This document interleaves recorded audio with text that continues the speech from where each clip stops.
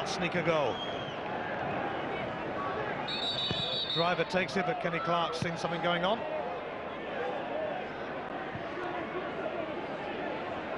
Pospisil and Bob.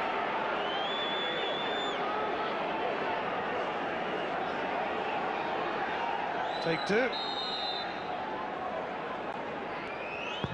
Driver tries again. All the keepers come for it. Not very convincing. And it's been turned in by Zaliukas. And Hearts have struck late on at Easter Road against their fierce rivals. Andy McNeil unable to deal with it. And Hearts may be spoiling the League Cup winning party here. Well, quite simply, the goalkeeper doesn't deal with it properly. Just flaps at it, and to be fair to Zaliukas, he's had a lot of defending to do, but that's an excellent finish. Keeps it down, and once again, in a derby, Edinburgh derby, John Collins has another goalkeeping error. Looks like it's going to cost them. Bouzalan.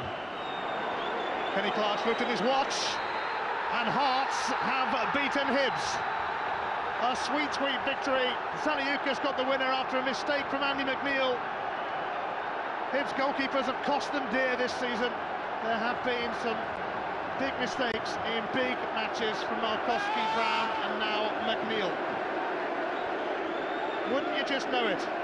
Hibs came to celebrate winning the League Cup.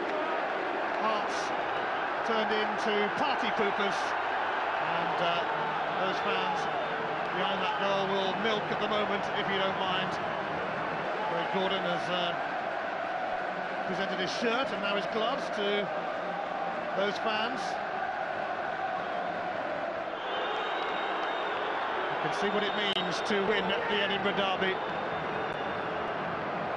It ends at Easter Road. Hibs nil, Hearts